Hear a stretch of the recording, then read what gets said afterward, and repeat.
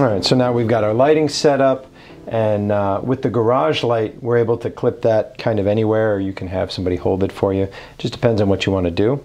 And then on the, on, on the iPhone, as on most other devices, there are several settings, right? So uh, one of my favorites is to take the filter and go to Vivid.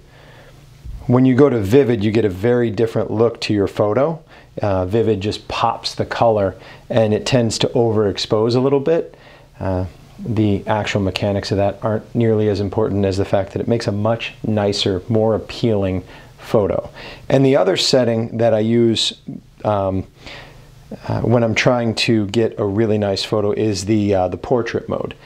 Portrait mode works best when you have good lighting.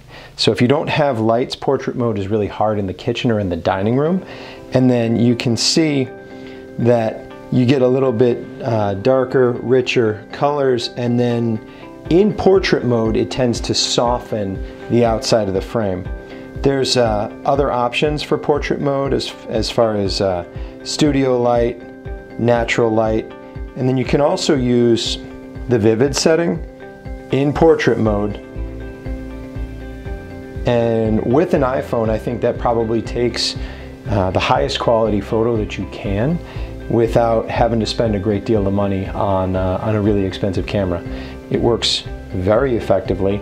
Um, I think starting with the iPhone 9, they started uh, putting um, putting cameras that were about 10 megapixels, which is more than most uh, low-end cameras it works. You always have your phone on you. You can always take good pictures.